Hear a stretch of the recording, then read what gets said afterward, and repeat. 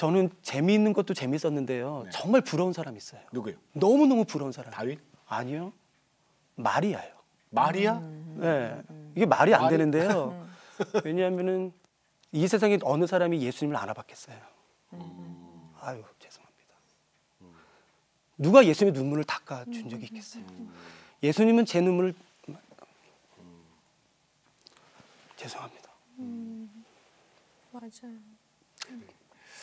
정말 많이 닦아주셨어요. 그리고 정말 많이 안아주셨어요. 근데 이 세상에 살았던 사람 가운데 누가 예수님의 눈물을 닦아준 사람이 있었겠어요. 그렇지. 그리고 그 품에 꼭 안아서. 어, 근데 이게 그러니까 말이 안 되는 게 애, 애라서 그러니까요. 마리아가 정말 부러웠었어요. 그때 예, 진심으로요. 지금도 부러운 마음이 많이 너무 부러워요, 것 너무. 같아요.